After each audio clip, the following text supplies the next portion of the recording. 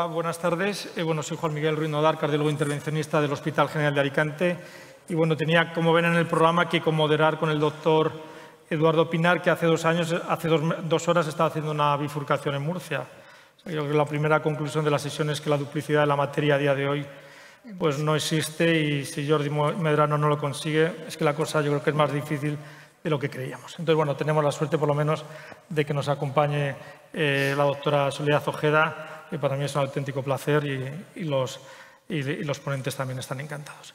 Es una sesión de coronario que es verdad que ahora mismo pues yo creo que el estructural nos absorbe, es un poco lo que genera entusiasmo, pero bueno, yo como digo siempre, del coronario es de lo que vivimos los hemodinamistas, ¿no? y es del paciente agudo, del infarto agudo del miocardio, y al fin y al cabo el coronario supone el 95-100% eh, de la actividad de la mitad de las salas en España y, de las, y del otro 50% de las salas pues dedican al coronario entre el 60 y 70% de su actividad.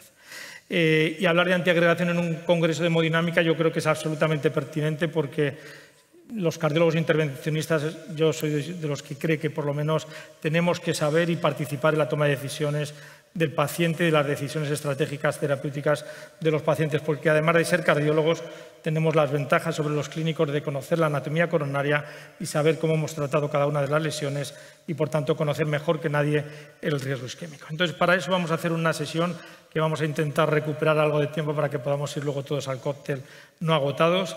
Y bueno, pues tenemos la suerte de, de presentar un caso que va a ser el doctor Eduardo Arroyo, un cardiólogo intervencionista joven con una experiencia increíble. Y bueno, va a presentar un caso que va a dejar preguntas en abierto sobre cómo tratar, que la responderá luego al terminar para hacer la sesión más fluida eh, el doctor bueno, Chechu eh, Jiménez Mazueco. Y también dejará preguntas en abierto sobre cómo tratar en el largo plazo, que corresponderá al doctor Íñigo Lozano al final. Entonces, sin más preámbulos, Eduardo, cuando quieras. Perfecto. Muchas gracias al auditorio, a los que habéis aguantado hasta última hora. Voy a presentar este caso que va a ser como eh, el hilo conductor de las charlas posteriores. Pues se trata de eh, un paciente de 71 años con factores de riesgo cardiovascular de hipertensión arterial y dilipemia, con un ingreso en nuestro servicio por un síndrome coronario agudo sin elevación del ST, con tratamiento previo con candesartán, simvastatina, aspirina y omeprazol. Eh, entre las pruebas complementarias básicas que se realizan inicialmente, un electro en ritmo sinusal normal, sin cambios isquémicos evolutivos, una troponina I pico de 1,5, 16,4 gramos de hemoglobina y un filtrado de 70. Se le hace un eco con una FEBI en torno al 50%, alteraciones segmentarias de la contractilidad con hipoquinesia inferolateral y en ese momento en urgencia se le pauta eh, tratamiento con enoxaparina 80 miligramos cada 12 horas y ácido acetil salicílico 100 miligramos al día. Se decide no pretratar con un segundo antiagregante porque se le va a realizar la coronografía en menos de 24 horas. Dentro de los scores de riesgo eh, que se le calculan al paciente, pues destaca un GRACE para mortalidad de 9,6 a los 3 años y eh, para mortalidad o infarto agudo de miocardio al año de 6,4.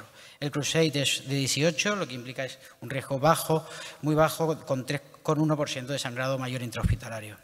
Esta es la geografía que se le hace eh, las 24 horas al, al, ingreso, entre las 24 horas del cuadro y destaca pues, enfermedad coronaria eh, de tres vasos difusa. ¿no? Tiene una lesión moderada en la DEA media, larga, tiene una lesión severa en la eh, segunda obtusa marginal, siendo un vaso de escaso desarrollo, y una lesión severa en la primera obtusa marginal, bifurcada, eh, Medina 111. La coronaria derecha tiene afectación moderada de su tercio medio. Se considera en este momento eh, que la lesión culpable es la lesión de la primera obtusa marginal, eh, pero eh, se decide realizar evaluación funcional de las lesiones de la descendente anterior y coronaria derecha ante encontrarnos con enfermedad difusa de tres vasos. Esta es la evaluación funcional de la descendente anterior, que fue positiva para isquemia, un RFR de 0,89 y FFR tras 300 adenosina intracoronaria de 0,08. La eh, coronaria derecha fue eh, funcionalmente no significativa, RFR de 0,94 y FFR de 0,89 tras 300 de adenosina intracoronaria. Se decide realizar ASTP sobre la obtusa marginal con técnica de provisional stenting, dado que la rama eh, marginal es de escaso calibre. Se administra ticagrelor 180 miligramos eh, antes de comenzar la angioplastia y 7.000 unidades de parina. Se tiene que realizar un switch de acceso radial distal a femoral derecho pues por espasmo severo. Espasmo a nivel de la braquial que resulta incruzable.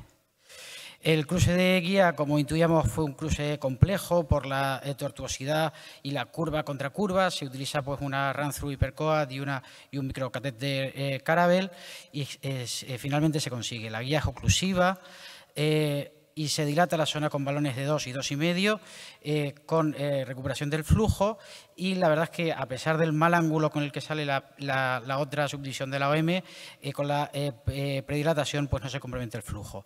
Se decide implantar un stent de Synergy 2,5 por 20 permaneciendo la rama lateral permeable, pero la postdilatación en el pod posterior se pierde esa rama. Eh, se intenta recruzar eh, con múltiples guías y eh, es imposible. El paciente comienza pues, con angina, pero se dé tras la administración de un tercio de fentanilo endovenoso. El electro de salida es normal, con lo que pues, se asume pues, el, el, resultado se da por bueno. ¿no? Eh, las preguntas que todos nos planteamos en, este contexto pues son si, eh, es eh, necesario o no el pretratamiento, cuándo realizamos la geografía y cuál es su correcto timing y qué papel juegan los antiagregantes endovenosos en este tipo de pacientes, que luego nos la contestará el doctor Jiménez Masueco. a las dos horas el paciente comienza con dolor de inicio súbito, eh, y se le realiza un electro y se evidencia pues, elevación llamativa del ST eh, lateral, ensanchamiento del QRS y descenso en cara inferior. Se le lleva a hacer una, una eh, core urgente y se ve una trombosis aguda del, del stem previamente implantado. Se le administra 7.000 unidades de parina, tirofibán en y en perfusión continua se pasa una guía, se, recupera parcialmente el flujo, se intenta pasar un tromboaspirador que no se consigue y, se dilata nuevamente la zona con eh, balones de 2,5 y de 3. La verdad es que el resultado inicial pues, fue aceptable, con persistencia de ciertos eh, materiales eh, trombóticos que protruían cerca del trombo y el operador pues, decidió implantar un, nuevo stent de, Synergy 3x12 para atrapar ese trombo. El paciente permaneció estable y eh, se le quitó el dolor. Eh, pero eh, es cierto que el paciente sufre un infarto importante periprocedimiento con troponina I de hasta 389 pico y con una eco con disfunción ventricular moderada. FEBI del 38%, con hipoquinesia severa, aquinesia de los segmentos de la cara lateral, anterolateral e inferolateral. Además, desarrolla un, hematoma femoral derecho no complicado y finalmente estado de alta con eh, TICA de 90 y aspirina. En el seguimiento el paciente pues, eh, permanece estable y asintomático, hace rehabilitación cardíaca, se le hace una ergo eh, que aguanta 3,28 minutos, 5 METs, clínica ISG negativa. Se encuentra en tratamiento con adiro, con TICA, con candesartane, prerenona, bisoprolol, rosu y esomeprazol. El eh, Precise Score eh, calculado para el paciente es de 19, lo que implica un riesgo de sangrado a los 12 meses eh, eh, mayor pues de 0,7%. Se le solicita un segundo tiempo pues, para completar la revascularización, dado la difusión ventricular y el esquema inducible en el territorio de la, descendente anterior, y se demuestra la permeabilidad de los stents previamente implantados, y se le pone un stent Synergy 2,5 por 38 y se podrá eh, con un eh, NCD3 con buen resultado final. Lo que nos planteamos todos eh, a posterior es qué algoritmo podemos seguir para indicar la estrategia post y en qué casos prolongaremos la doble integración y con qué fármaco, fármaco que nos lo responderá el doctor Lozano ahora mismo. Muchas gracias.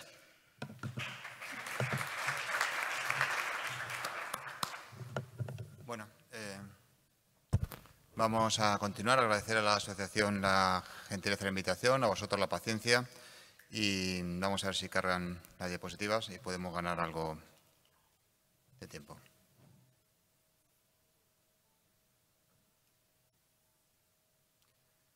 Bueno, pues continuamos. Sabemos todos que la clave ante el síndrome coronario agudo es estratificar el riesgo isquémico. Podemos hacerlo a ojímetro en base a la integración de parámetros clínicos, electrocardiográficos, analíticos o bien con score más o menos sofisticados y luego evaluar el riesgo de sangrados. paciente que nos presenta Eduardo, pues eh, se trata de un dolor con elevación de biomarcadores, un Grace no alto, por debajo de 140, pero en base a esa elevación de troponina que a veces nos gusta poco a los hemodinamistas, tenemos que clasificarlo como un non-STEMI. Y el riesgo, el riesgo sangrado en cualquiera de los ejemplos que utilicemos está claro que es un riesgo bajo. Nos hace Eduardo estas preguntas y vamos a intentar contestarlas. Primero, ¿qué es el pretratamiento? El pretratamiento es poner un fármaco antes de realizar la angiografía y, por lo tanto, antes de conocer la anatomía coronaria. Fijaros en, esta, en este gráfico, eh, la mayoría de los eventos eh, trombóticos en el síndrome coronario agudo se producen durante el intervencionismo, van disminuyendo conforme pasan las horas y tiene que ver mucho con la gravedad plaquetar. De forma que un tratamiento dado eh, en, color verde, antes del intervencionismo, ofrece una ventana de oportunidad, la línea rayada, mayor que otro, el dado después del intervencionismo en la línea roja. ¿Cuáles son las ventajas? Pues reduce el riesgo de complicaciones antes del procedimiento, puede reducir el riesgo de complicaciones durante el procedimiento y disminuye la necesidad de los B3A de rescate. ¿Cuáles pueden ser las potenciales desventajas? Pues aumenta el riesgo hemorrágico, sobre todo el sitio de accesos. Fijaros que en España esto no debería ser problema, pues aproximadamente el 95% de los procedimientos se hacen por vía radial. Puede retrasar la necesidad de cirugía en caso de que ésta sea necesaria o en caso de que no se pueda demorar, aumentar el riesgo hemorrágico. Esto tampoco debería ser mucho problema, pues apenas en los registros, ya lo veremos en los estudios, apenas entre un 3 o un 5% de los pacientes con síndrome de coronel agudo acaban en cirugía y sí que podemos eh, administrar este tratamiento a pacientes que potencialmente no lo necesitan. Este sí que es un problema, ¿no? infarto tipo 2 o, los minocas. ¿Qué evidencia existe a favor del pretratamiento? Pues un único estudio randomizado de hace más de 20 años, PCR Cure. En este estudio se randomizó a los pacientes a recibir 300 miligramos de clopidogrel versus placebo. Y lo que vimos es que efectivamente disminuía de forma significativa un 30% el endpoint primario. Fijaros que el tiempo de esta radiografía fue en este estudio de 10 días, estamos hablando de hace 20 años, y que un tercio de los pacientes se les daba de alta y se les hacía la angiografía a, los 49 días. Lo que vimos también en este estudio es que en ese tiempo de demora hasta la angiografía, en esos 10 días, se producía una disminución con el pretratamiento de un 3,2% absoluto, que es una barbaridad, de los eventos trombóticos coronarios.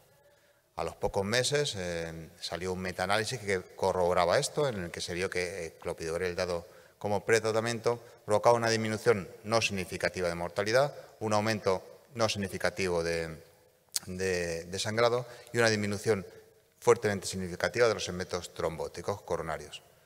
Esto además era así eh, en función del riesgo. Pacientes con escasez se beneficiaban más que los pacientes con escasez y esto más que los pacientes con angina estable. Pero a partir de aquí, todo han sido malas noticias para el pretratamiento. Tenemos cuatro estudios randomizados y varios registros que indican que el pretratamiento no parece que pueda no tener un papel. primer estudio, ya también hace unos años, el CREDO. Randomizamos a los pacientes a pretratamiento con clopidogrel 3 a 24 horas antes. Pues el pretratamiento no aporta nada sobre no tratar a esos pacientes. Sí que es verdad que hay un subgrupo de pacientes en los que se daba seis horas antes, entre 6 y 24 horas antes, en los que se rozaba la significación estadística, una P de 0,051, pero este no era el objetivo principal de este estudio. Posteriormente el estudio ACOAS, 30 eh, miligramos de prasugrel dados como pretratamiento, seguido de 30 miligramos después de la angioplastia, no es superior eh, a dar 60 miligramos después en el endpoint primario de eficacia y además duplica el riesgo de sangrado. Fijaros que el tiempo de angiografía en este estudio fue solo de 4,3 horas, eso no lo vemos en España. El 57% se hizo por femoral, tampoco lo vemos en España. Y algo que machaconamente vamos a ver en el resto de los estudios. ¿eh? Solo de los pacientes con síndrome coronario agudo, el 70% se sigue intervencionismo coronario, un 6% de cirugía y un 25% de tratamiento médico. ¿Qué pasa en los pacientes en los que eh, hago si nos fijamos solo en los pacientes en los que hago intervencionismo, vamos olvidando los pacientes que acaban en cirugía o los pacientes que siguen con tratamiento médico, pues vemos resultados muy similares. El endpoint principal de eficacia no disminuye, es similar dar prasugrel como pretratamiento que darlo eh, después, después del procedimiento y sí que aumenta, triplica el riesgo de sangrado darlo como pretratamiento. Tercer estudio, ya lo ha comentado antes el doctor Sánchez, ISA-RAID 5, se comparan dos estrategias, más que dos tratamientos, dos estrategias, táctica Grelor como pretratamiento antes o dar prasugrel después. La cosa es que solo una hora de diferencia entre, el ticagrelor y el prasugrel. Aquí en este estudio lo que vemos es que en cuanto a seguridad eh, las hemorragias son similares entre los dos fármacos, pero sorprendentemente en este estudio el, el ticagrelor salió peor parado. En este estudio había pacientes con STEMI y non-STEMI. Si nos fijamos solo en, los pacientes que atañen a esta charla, los pacientes con non-STEMI, pues vemos algo similar. El, el ticarelor eh, y el prasugrel eran similares en cuanto a eventos desangrados, pero el ticarelor era peor en forma de más eventos trombóticos en el seguimiento, fundamentalmente por un exceso de sangrado que se producía a partir del primer mes. El, último estudio, el cuarto estudio, también lo comentó el doctor Sánchez, tuvo Dubius, un estudio italiano sobre 1.400 pacientes. Este, este, estudio se paró antes de tiempo por futilidad, porque no había diferencias. Son pacientes mucho más parecidos a lo que vemos en España, tiempo hasta el cateterismo de casi un día, 24 horas, eh, tasa de radial del 95%, tasas como las que tenemos en España. Se compara una estrategia upstream, dar ticarelor antes, frente a una estrategia downstream, dar prasugrel o ticarelor después y vemos que cualquiera de las dos estrategias son similares. Eh, tenemos luego un estudio, un, registro sueco eh, de 64.000 pacientes en los que em, se, miran los pacientes en función de si han recibido pretratamiento o no. Como en la mayoría de los centros, en, los primeros años de la década pasada se da pretratamiento prácticamente al 100% de los pacientes y luego esto ha ido disminuyendo aproximadamente un 2,5% al año. Bueno, comparamos eh, hacemos un propensity, comparamos a los pacientes con pretratamiento frente a los sin pretratamiento. Y vemos que el pretratamiento no disminuye mortalidad, no disminuye estentrombosis y sí que aumenta significativamente el riesgo de sangrado. Nombrarlo porque es un, registro español, un registro del ARIAN, lo que vemos es que el pretratamiento no disminuye en el contexto del síndrome coronal agudo sin inhalación de ST eh, los, eventos, los eventos isquémicos. Todo esto llevó a hacer a Jim Montalesco una editorial bastante valiente y agresiva en contra del pretratamiento. Decía que, bueno, que efectivamente muy atractivo eh, poner ese fármaco antes del intervencionismo para disminuir estos eventos trombóticos durante el intervencionismo. Pero es que el intervencionismo solo se da en el 70% de los casos en, estos, en, estos, estudios. Tenemos cuatro estudios randomizados que no han demostrado nada. Eh, y lo que sí que sabemos es que tratar a gente que no lo necesita, eso sí que es malo. Además, los tiempos de la angiografía se han reducido mucho. ¿Os acordáis en el PCU que eran de 10 días y ahora estamos hablando de la, en, la mayoría de los países entre 24, 48, 72 horas. Y en esas 24 48 horas el riesgo de tener fenómenos trombóticos es aproximadamente un 2% y da lo mismo que pretratemos o que no pretratemos. Y es lo que nos dice, nos dice, mire usted, si usted tiene un paciente con un síndrome agudo, antiagrégalo, póngale fondaparina y programa el cateterismo si es posible al día siguiente que no es posible al día siguiente porque estemos hablando de fin de semana, porque estemos hablando de un centro que no tenga hemodinámica y sea difícil el traslado, no haya facilidad de traslado, tampoco se ponga nervioso. Espere usted 48 o 72 horas y no ponga pretratamiento. Y si pasamos de esas 72 horas, él nos dice que entonces ya estaríamos hablando de una estrategia PCU Cure-like y entonces sí que habría que pretratar. Lo que nos dice es que eh, tenemos que enseñar a nuestros fellows que no hay que ser muy proactivo en esto del pretratamiento, nuestros fellows residentes, porque realmente eso es perjudicial. Bueno, una tabla de los tiempos de todos estos estudios. Estamos tomando decisiones en las guías, al menos, en base a unos tiempos que difícilmente son reproducibles. Fijaros en el LISA RIC, 55 minutos entre el pretratar o no pretratar, en el ACOAS 4,3 horas, en el CREDO 9,8, en el Dubius algo más parecido a, lo que podemos tener aquí en España, 24 horas, y en los registros Ariane Scar de dos días. Tenemos aquí un artículo de, nuestro moderador en el que se vio, por lo menos en el 2010, que la media hasta la realización de un cateterismo en el síndrome coronal agudo era de 3,1 días si teníamos hemodinámica en el centro y de 4,5 días si no disponíamos de hemodinámica en ese centro. Lo que nos han dicho las guías es que ha desaparecido lo de tratar con clopidogrel y tegarelor y ahora lo que hay que poner es proseurel al acabar el intervencionismo, está contraindicado el pretratamiento y sí que es verdad que se contempla la opción de que si no vamos a hacer cateterismo demasiado pronto, eh, eh, eh, podemos pretratar. O sea que el pretratamiento va muy ligado a la precocidad del, cateterismo. ¿Qué nos dicen las guías sobre la precocidad del cateterismo? Pues esta es la guía de 2015, había cuatro grupos de riesgo, riesgo bajo, estrategia selectiva invasiva, riesgo intermedio, cateterismo 72 horas, riesgo alto, cateterismo en 24 horas, riesgo muy alto, cateterismo en menos de dos horas. En las actuales de 2020 ha desaparecido el riesgo intermedio, esos son pacientes de riesgo bajo.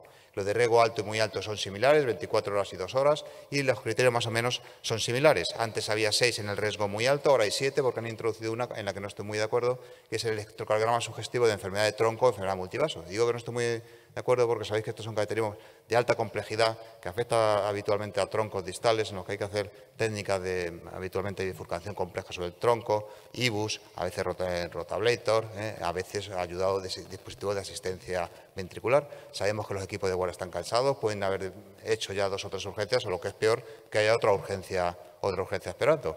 No siempre en los equipos de guardia está la gente más experta y los equipos de guardia pues sabemos que están muy solos, ¿no? Hay un médico y una o dos enfermeras, ¿no? Y esto, a veces estas decisiones tienen que ser colegiadas. Se hacen mejor estos procedimientos de forma programada a las 8 o 9 de la mañana que, eh, que a las 8 de la, de la, tarde. Estos son los estudios sobre el cateterismo precoz o retrasado eh, y lo que sí que es verdad que todos estos estudios son con pretratamiento. Las guías nos dicen que no pretratar y que hace cateterismo pronto, pero no hay ningún estudio realmente en el que el cateterismo precoz eh, eh, sea mejor, porque todos están pretratados.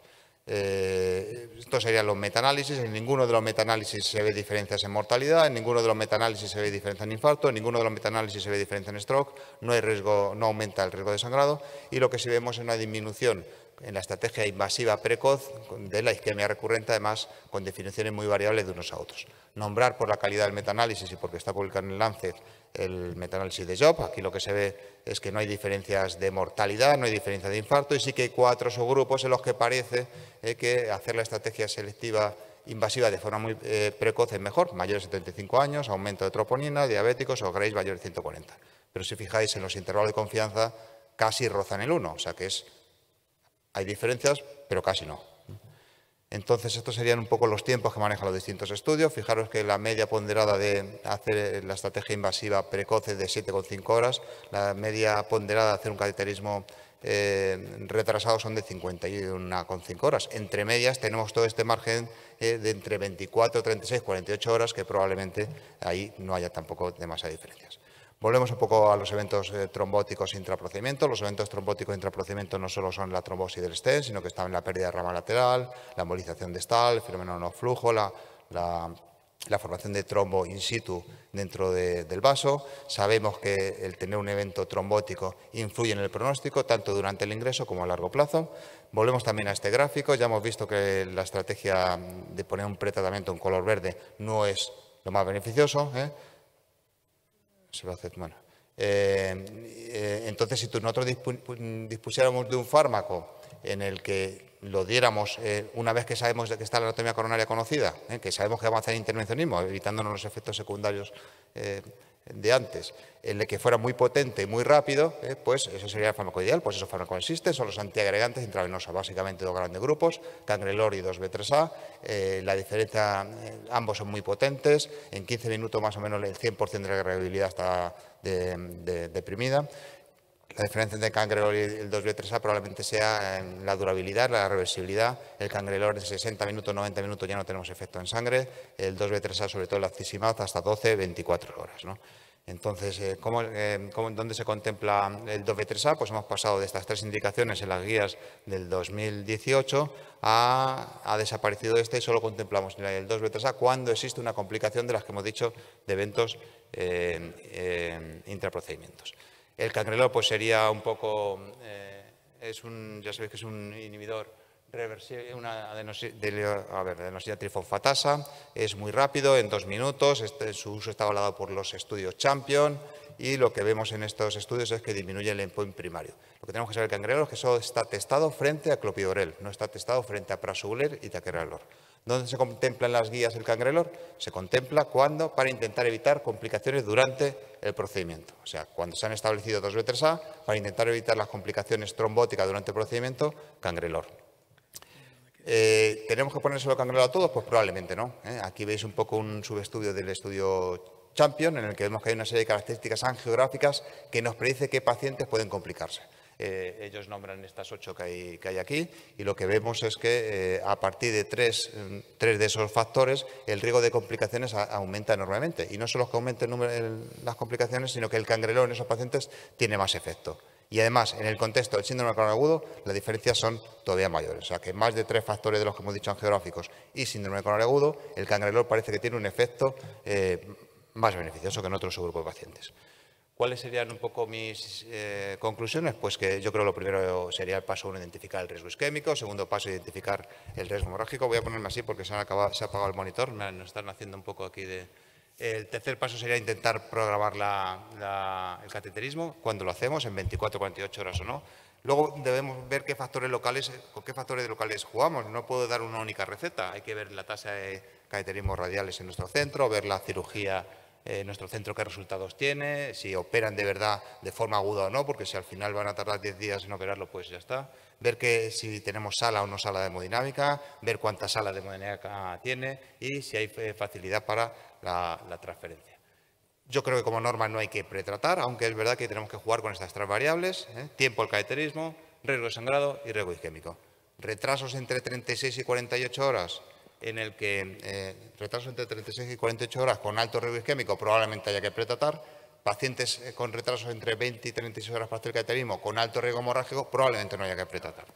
En el caso de, no pretratar, claramente prasurel. ¿eh? Eh, si no pretratamos y tenemos todas esas, variables que hemos dicho antes, pues podríamos considerar el cangrelor y una vez se haya cometido la complicación, se haya complicado, pues deberíamos poner el 2B3A. En el caso que Eduardo nos presenta, yo daría aspirina, intentaría programar la coronografía en menos de 24 horas, no me pelearía con el hemodinamista, si es fin de semana, desde luego, esperaría al paciente tranquilamente el lunes a martes y en ese caso eh, trataría. Si no he pretratado, dado que tiene más de tres o cuatro de esas variables que, eh, por la geografía, pues probablemente iniciaría cangrelor en sala. Eh, ante la pérdida de rama lateral, sí que iniciaría otra vez en sala el tiro firmal. No me asociaría con esa rama secundaria y probablemente sí con la principal y sí que pondría después del intervencionismo, si no pretratado, el prosugres. Y nada más.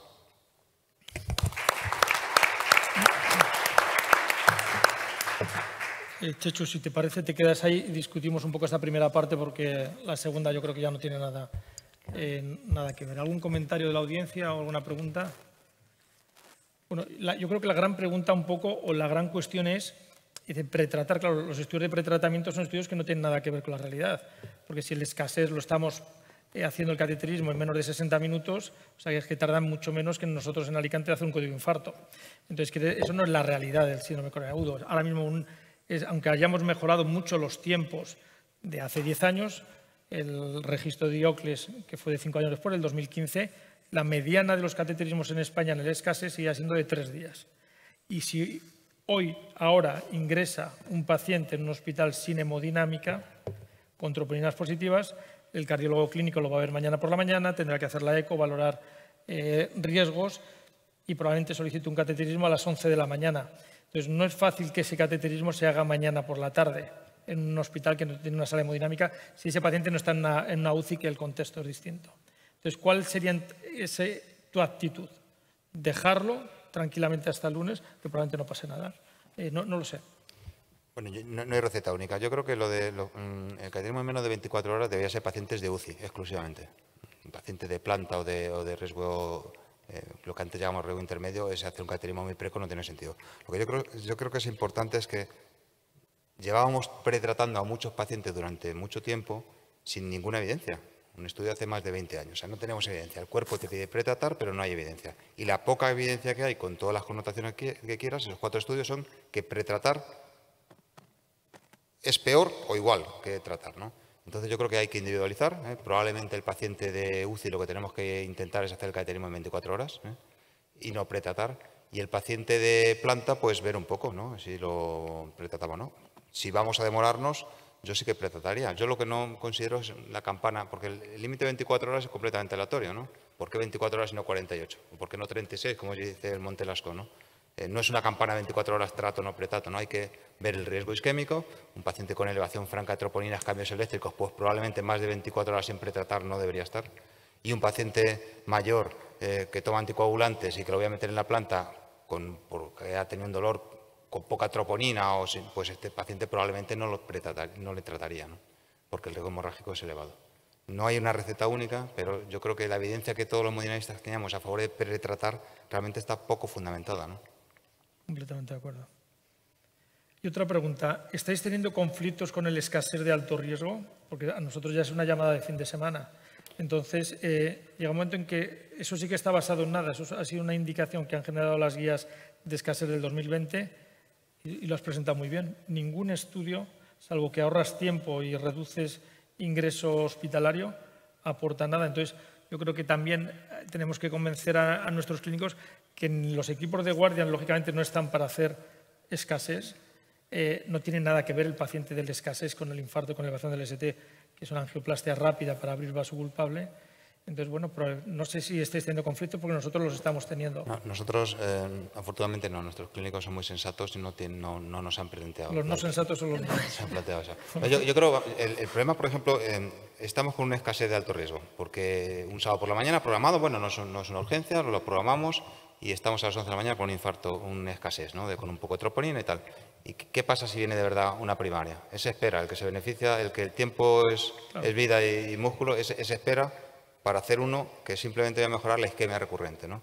Entonces, eh, y, si a ese, ese, médico que está de guardia le echamos cuatro o cinco baterismos todos seguidos, cuando llegue el complejo, el infarto o con la arteria ocluida a las 12 de la noche, ¿qué le decimos? Que este, este se entonces yo creo que realmente lo de los 24, el cateterismo precoz del early angiography eh, está basado en muy poca evidencia, muy poca evidencia, todos además con pretratamiento, entonces yo eh, hay que ser un poco sensato, ¿no? Eh, entre las 50 horas del retrasado y las 7 horas hay un margen en el que yo creo que probablemente todos nuestros enfermos entren, de la UCI me refiero, ¿no? Yo tenía un comentario. Es verdad que, hombre, que, ninguno de los estudios apoya el pretratamiento, pero, por ejemplo, nosotros sí lo seguimos haciendo sistemáticamente en la mayoría de los pacientes. Es verdad que en enfermos de muy alto riesgo de sangrado, con anticoagulantes, pacientes mayores no, pero en síndromes coronarios agudos de alto riesgo, enfermos con troponina alta, que, o con anatomías conocidas previas por mucho, con mucho milímetro de estén ya implantado y demás, siempre solemos pretratrar. Porque yo creo también que uno de, los aspectos que consideran los estudios es la, posibilidad de ir a cirugía, ¿no? Y yo no sé en vuestros centros, pero realmente los enfermos que un síndrome coronario agudo que tú tienes que diferir a, cirugía y que se retrasa por la antiagregación, es que son pacientes mínimos, ¿no? Yo creo que más que, la, En general, yo siempre, vamos, siempre leo que, verdad, no se debe pretratar, pero yo no sé si realmente todos estamos sin pretratar o estamos pretratando. la estrategia que vosotros. Un poco por defecto, si el paciente tiene dolor típico, es un cuadro de riesgo un paciente de riesgo. Con troponinas positivas, ya no te digo si tiene cambios eléctricos, eh, pretratamos, incluso aunque le hagamos el cateterismo eh, al día siguiente, porque es verdad que ese paciente 98% son, son, son, agudos. ¿no? yo no, eh, creo tanto que sea el problema de la cirugía en los estudios es un 3 o 4%, es muy poco en los estudios. Y en los registros, en el mundo real probablemente todavía menos, por debajo del 1 o 2%. ¿no? Pero yo creo que es más el que luego no tiene infarto ateroscleroso. Eh, en ese 20%, que eso es 20 o 30% de los síndromes agudos van para tratamiento conservador. Entonces, en eso le está sometiendo a un riesgo de un tratamiento, no digo ya de una disección de aorta, digo, eh, bueno, el minoca, el tacosubo, todo este, a eso estamos sometiendo a un riesgo de sangrado que probablemente de la otra forma lo evitemos, ¿no? Que son dos días de tratamiento, bueno, pues son dos días, ¿no? Pero claro, 60 miligramos de, de prasurel de tratamiento, 180 de ticarelor, pues a veces tenemos algún degusto, ¿no? A veces. Eduardo, una pregunta. Vosotros, tú que trabajas en dos centros de alto volumen, eh, ¿tenéis presión, porque me preocupa mucho, presión por el paciente sin elevación del ST a lo largo del fin de semana? A nosotros sí nos suelen llamar también.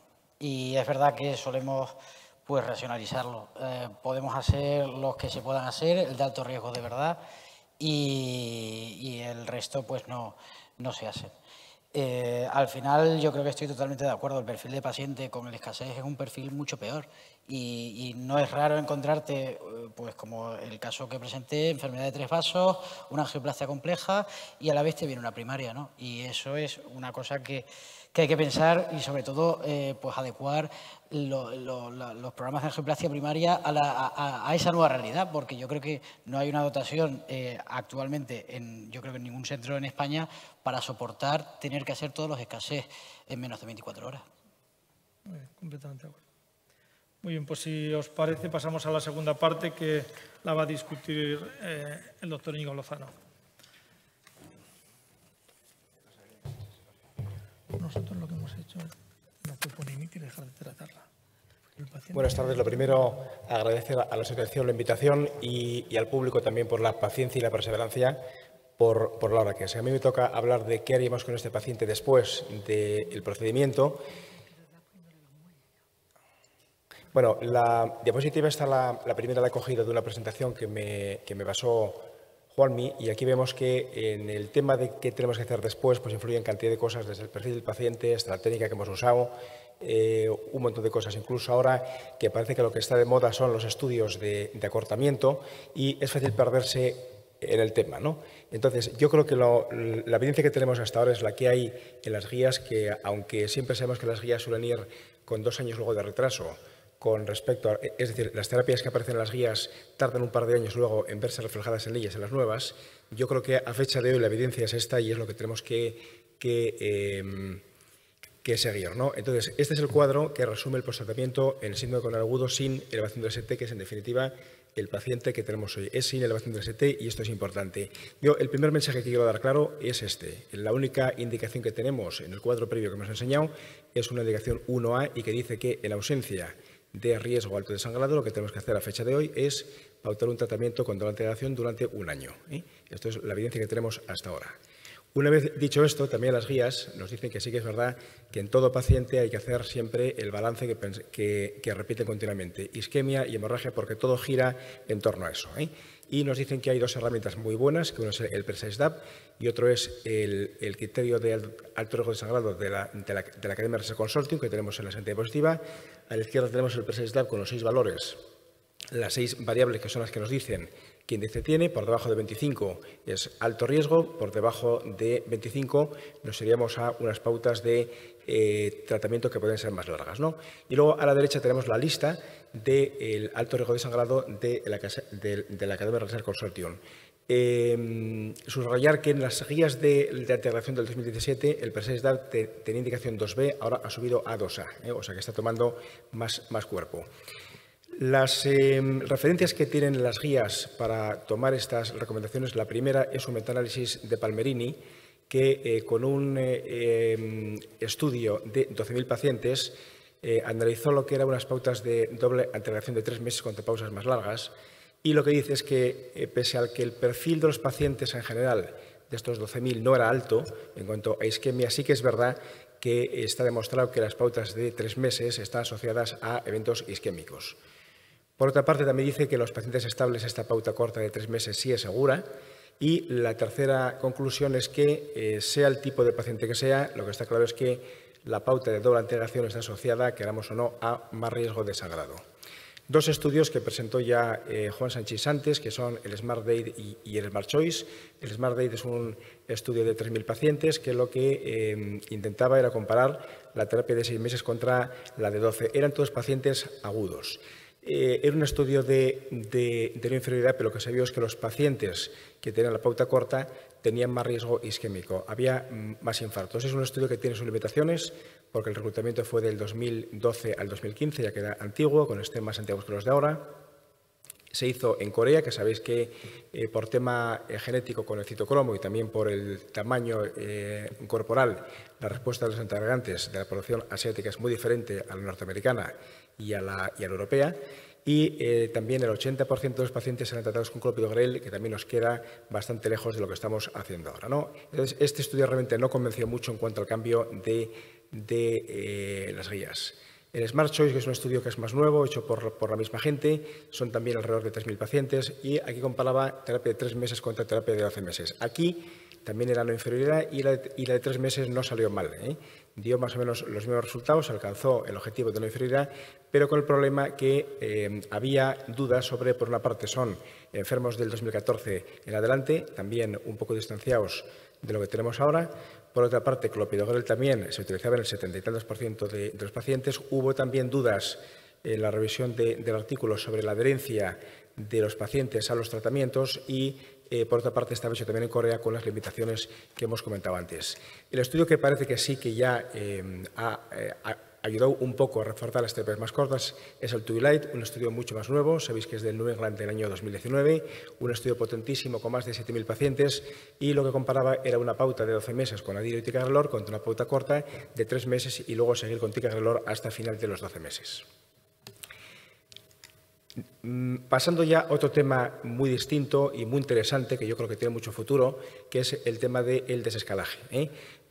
las guías lo que nos dicen es que hay algunos pacientes que no eh, tienen un perfil que es candidatos a recibir antiagentes potentes, eh, prasugrel y tecagrelor, durante periodos largos de tiempo. Entonces, eh, lo que nos dicen es que en estos pacientes, ya veremos qué evidencias tenemos ahora, se puede pautar una reducción a partir del primer mes a clopidogrel basado en juicio clínico en las pruebas de reactividad plaquetaria o en eh, pruebas de eh, genotipaje. El primer estudio que tenemos eh, arriba, no voy a hablar mucho de él porque es el, estudio Tropical ACS, es un estudio que el diseño es muy complejo y la aplicabilidad diaria también es muy compleja. Voy a pasar también al último, porque el más interesante para mí, desde luego, es el segundo. El último es un New England, que es un estudio de no inferioridad basado en el genotipaje. Pero el topic, que es el que está en medio, para mí, desde luego, es el que ha dejado eh, el tema más claro y para abrir al futuro lo que, lo que, lo que puede pasar. ¿no? En el topic eran 650 pacientes, hechos, es, un, es un estudio hecho en un único centro, que lo que hacían era dar de alta a todos los sintomas con y sin elevación del ST, con prasugrel y con ticagrelor. Al cabo del mes los citaban y, entonces los randomizaban, la mitad iban a eh, clopidogrel y la mitad se mantenían el resto del año con ticagrelor o con prasugrel. Los resultados que, mm, obtuvieron es la rama que tenemos eh, arriba, es la que está en azul, la que se mantuvo con prasugrel o tecagrelor el año entero, y la suma de isquemia y hemorragia se fue al 26%, comparado con la mitad de eventos en los pacientes que al cabo del mes se eh, pasaron a clopidogrel. Bueno, eh, Perdón un segundo porque no sé si faltaba una diapositiva. No, eso es. Eh, este estudio es el único que voy a poner de toda la presentación que no está en las guías porque fue después. Es un, es un estudio que salió en el ya publicado hace un mes, que es un metaanálisis de estudios de, eh. ¿eh? Y se ve perfectamente en el, en el metaanálisis que el desescalaje parece que tiene muchísimas ventajas. Nosotros en la, en la, Fundación EPIC, basándonos en este cuadro que tenemos a la izquierda, que pertenece a la segunda publicación del estudio Topic, que es un estudio, eh, es una publicación que salió en el JAC Interventions, que aquí lo que nos dicen es qué eh, grado de reactividad plaquetaria tenía el paciente al mes cuando se hizo la randomización. Entonces, recordar que había dos brazos a partir, de, a partir del mes. Unos eran los que se randomizaron a seguir con prasugrel o con ticagrelor y el otro eran los que eh, pasaron a clopidogrel.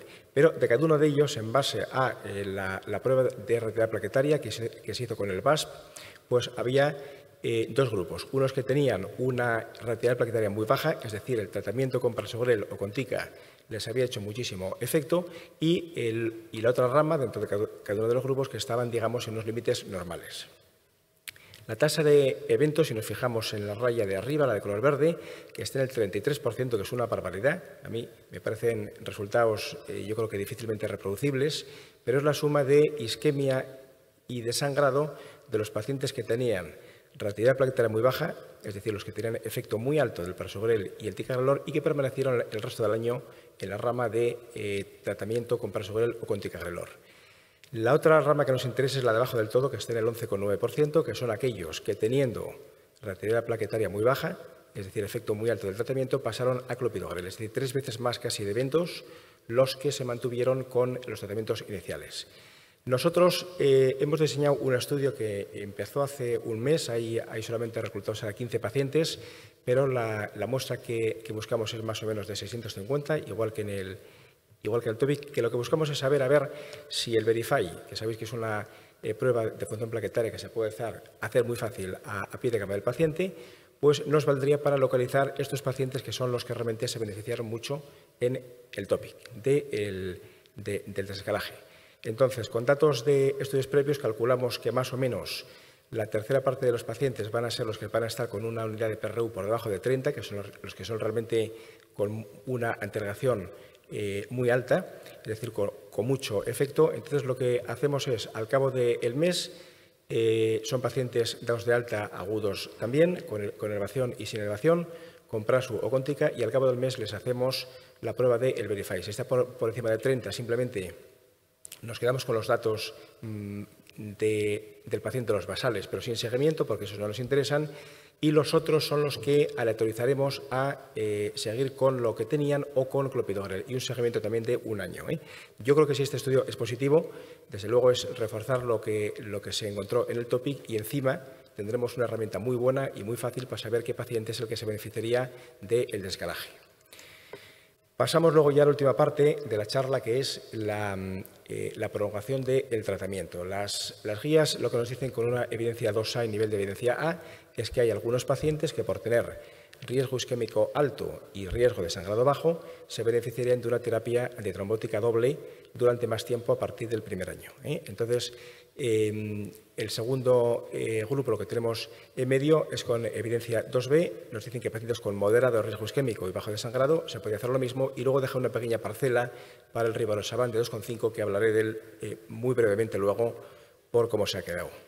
Esta diapositiva también se la he copiado a Juanmi, donde tenemos factores que nos van a influir en hacer la prolongación o no, que hay, por supuesto, el riesgo isquémico y hemorrágico, y luego una serie de factores que son adherencia, edad del paciente y luego eh, el tema de los costes, que veremos que es muy importante también al hablar de esto.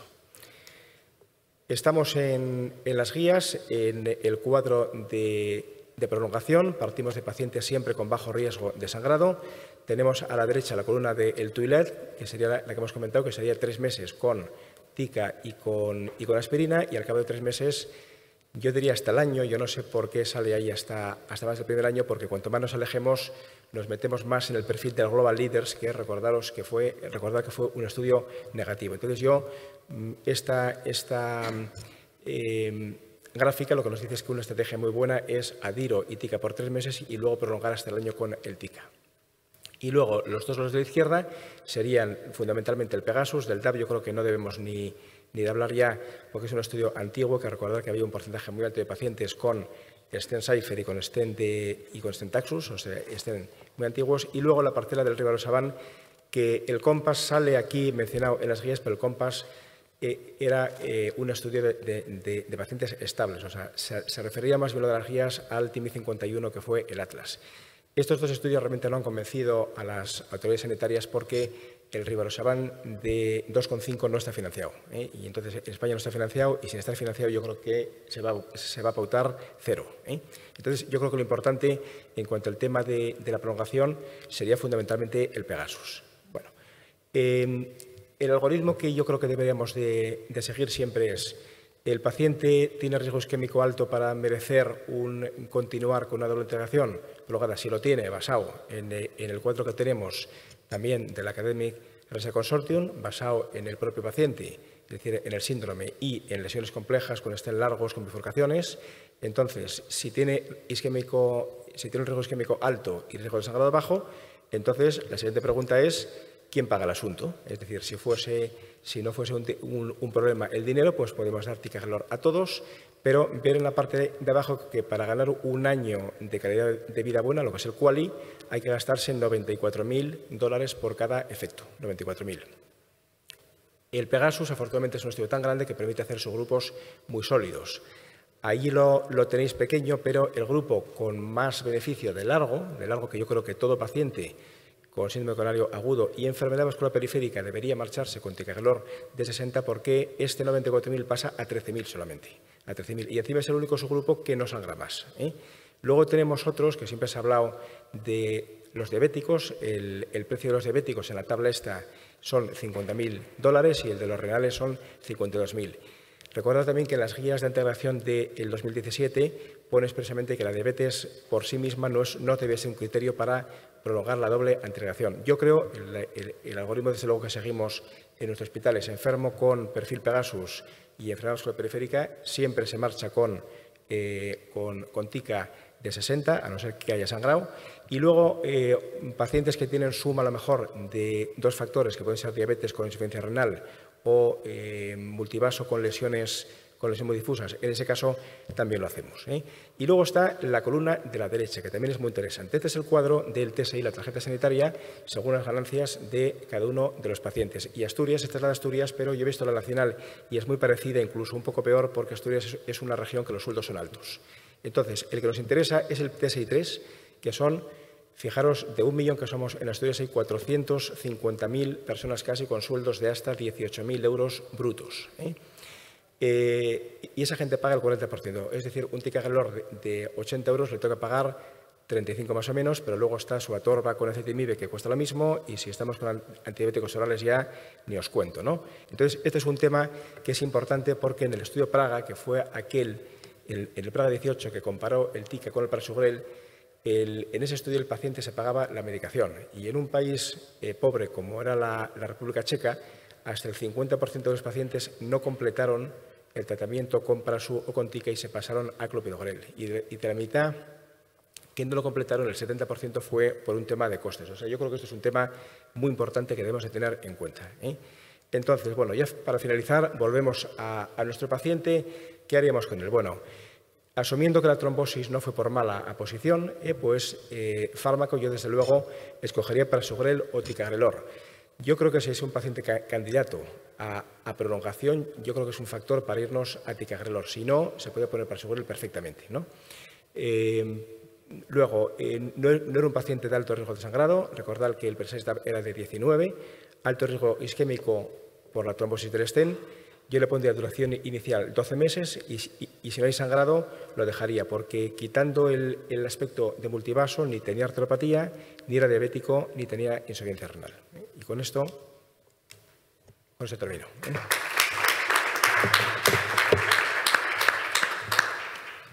¿Algún comentario? ¿Pregunta? Eh, Íñigo, una cosa rápida un poco. Eh, ahora mismo la doble integración a 12 meses, un poco lo estándar que mandábamos antes, ya cada vez realmente se puede indicar a menos pacientes. Ahora está todo como muy eh, eh, dirigido a medida, ¿no? O sea, que si mi paciente tiene alto riesgo hemorrágico, ahora ya tenemos información del Master DAP de hace nada, que podemos reducir de una manera muy segura la doble antiagregación a un mes. Si mi paciente tiene alto riesgo isquémico, probablemente le tenga que dirigir a estrategias de prolongación de doble antiagregación, incluso de TICA en monoterapia. Eh, ¿Todo esto lo discutes tú con tus clínicos? ¿Se decide arriba? ¿Tienes influencia tú en tu opinión por el cateterismo? ¿Cómo lo hacéis?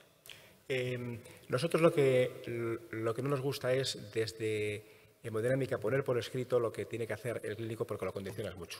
Eso sí, lo que pasa es que sí que es verdad que por lo menos en, el hospital nuestro es una plantilla que es muy joven, que está súper actualizada y todo esto les gusta mucho y sí participan de, las decisiones. Nosotros, por ejemplo, yo creo que éramos un hospital hasta que salió el REAC, éramos antipraso.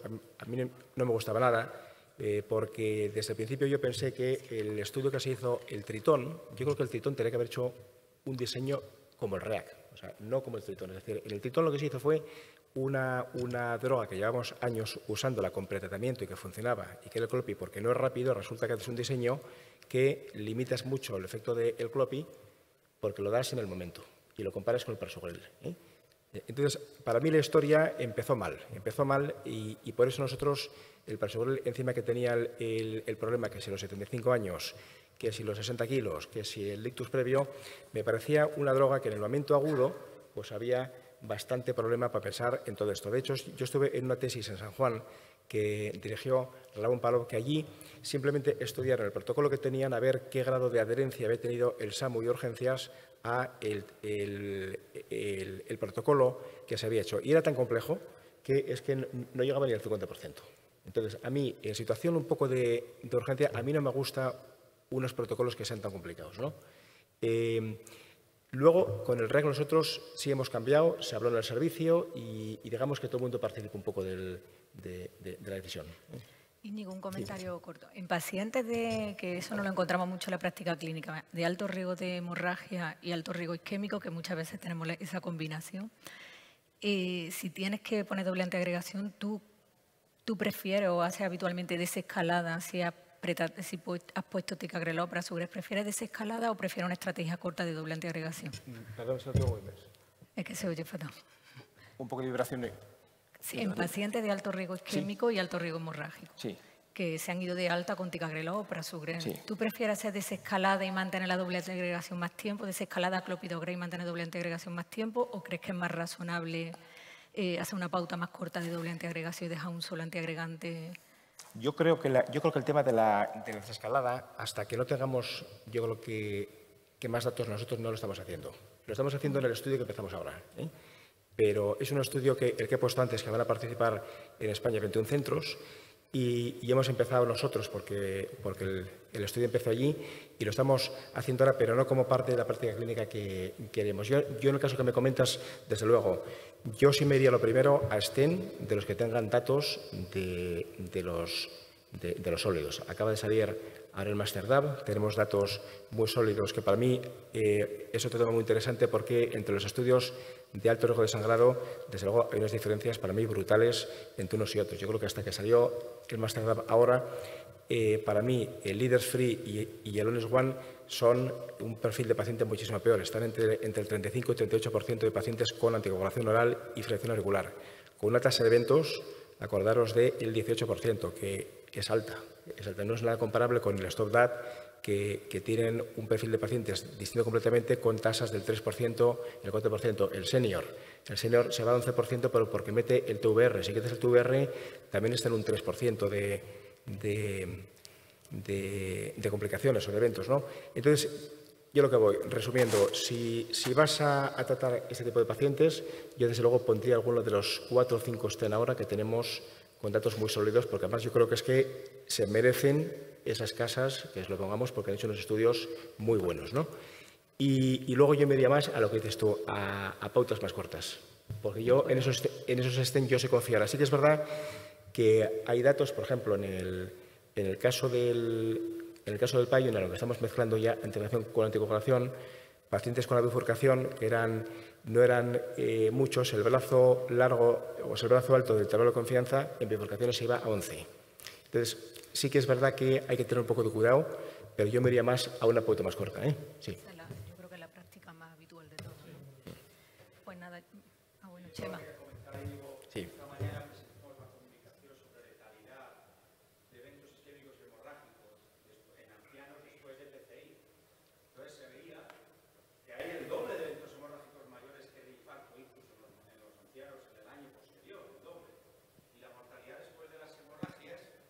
Al mes de la hemorragia era del 12 y al mes del infarto ictus era del 10. Lo cual quiere decir que tenemos subestimado el evento hemorrágico.